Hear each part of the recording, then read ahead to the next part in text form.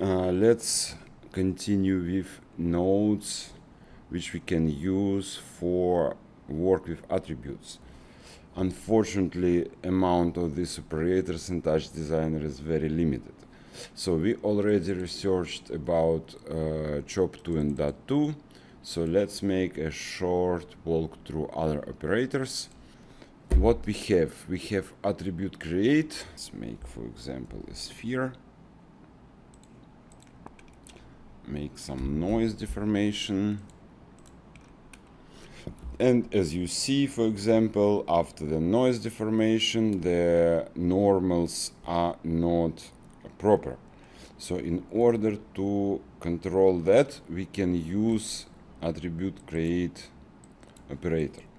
In this operator, we can only create two attributes, compute normals and compute tangents, which we can use for proper bump in materials. So if we check the normal mapping in uh, Touch Designer help, we can find that for usage of normal mapping, we need to have a tangent attribute on your geometry, which can be done using attribute create SOP. There is some new parameter which is not really documented yet. Using attribute you can only delete or rename attributes. So not that super powerful tool in comparison, for example, to what we have in Houdini.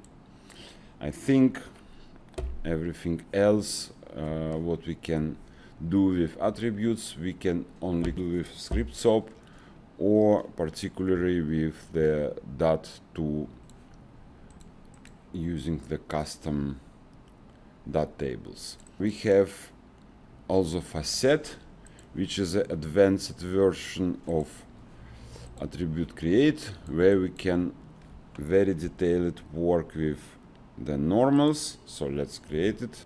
That operator is very similar to the same operator in Houdini.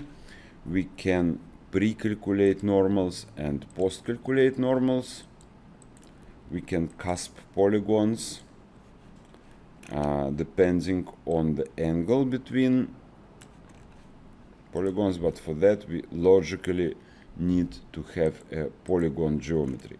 So in that case you can see we can make some of uh, triangles looking flat and some of them looking smooth.